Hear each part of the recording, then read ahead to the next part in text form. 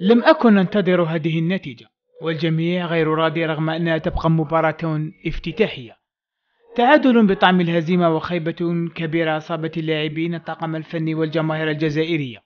هكذا علق الناخب الوطني جمال بلماضي على أول نتيجة محققة في افتتاح كان ديفوار أمام منتخب أنغولا.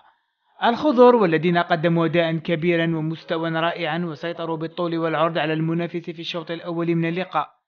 لكن الإرهاق والتعب البدني مع نقص المنافسة لدى بعض اللاعبين في صورة يوسف عطال وإسماعيل بن نصر مع غياب رياض محرز الذي لم يشعر الجميع بوجوده على أرضية الميدان أثروا بشكل كبير في تحقيق نتيجة لم تكن متوقعة. محاربو الصحراء والذين لم يستغلوا فترة قوتهم ليضيفوا أهدافا أخرى وهذا لقتل المباراة وطي صفحتها في الشوط الأول ما جعلهم في غفلة من أمرهم يتلقون هدف التعادل عن طريق ضربة جزاء. تغييرات متأخرة للناخب الوطني جمال بالماضي. دفع الخضر أيضا ثمنها من خلال تحقيق تعادل لم يكن في الحسبان.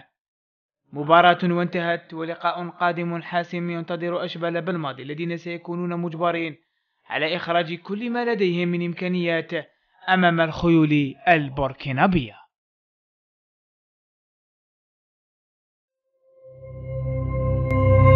زيرتوب أول قناة إلكترونية في الجزائر.